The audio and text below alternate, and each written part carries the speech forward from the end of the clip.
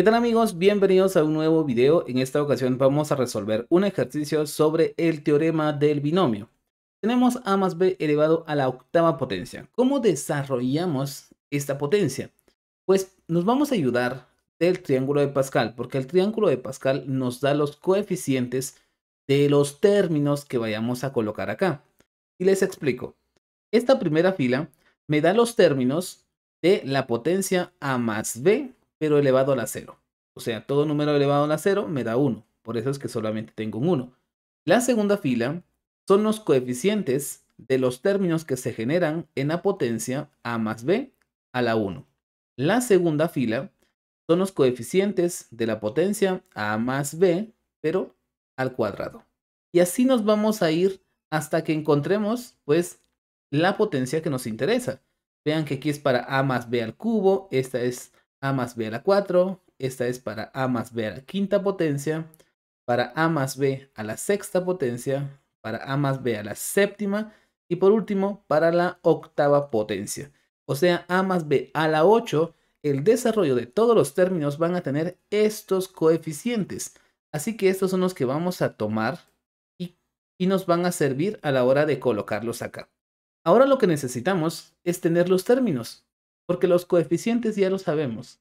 Vamos a empezar siempre con a elevado a la octava potencia. Y la a se tiene que ir disminuyendo en cuanto a su exponente. Así que pongo a a la 8, ahora voy a colocar a a la 7, con un signo más por acá.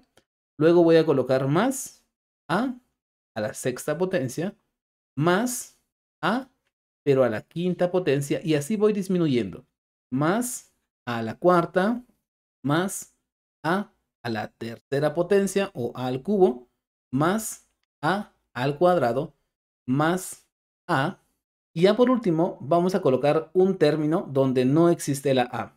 Luego vamos a ir con AB. Vean que la A la tuvimos que ir disminuyendo desde el 8 hasta el 1. Esta A tiene un 1 como exponente. Y luego la B vamos a empezar con que aquí no hay B. Luego ponemos B a la 1, ponemos acá B a la 2, B a la 3, B a la 4, B a la 5, B a la 6. Aquí ponemos B a la 7 y por último B a la 8. De esta forma ponemos la B de empezando desde un término donde no existe la B, luego B1, B2 hasta B8.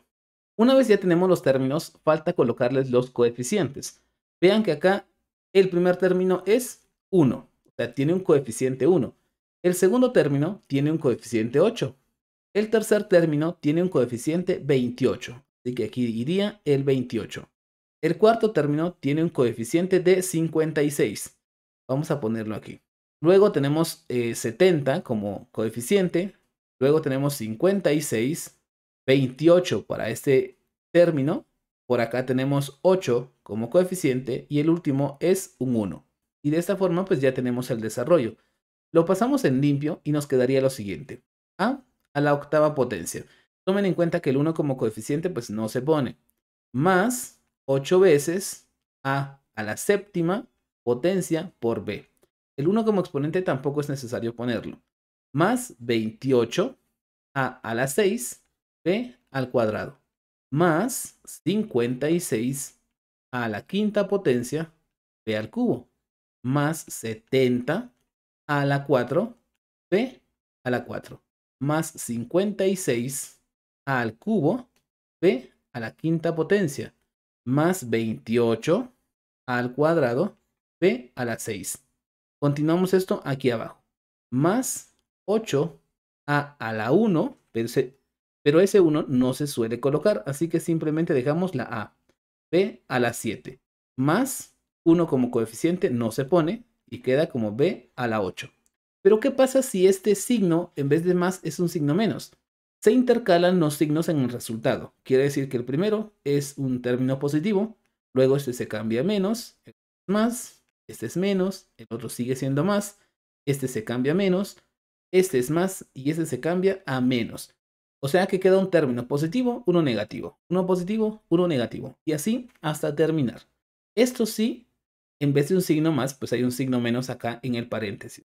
Y de esta forma bastante sencilla ya tenemos resuelto el ejercicio. Si este video les ha sido de utilidad, les invito a suscribirse y a dejar sus dudas en los comentarios.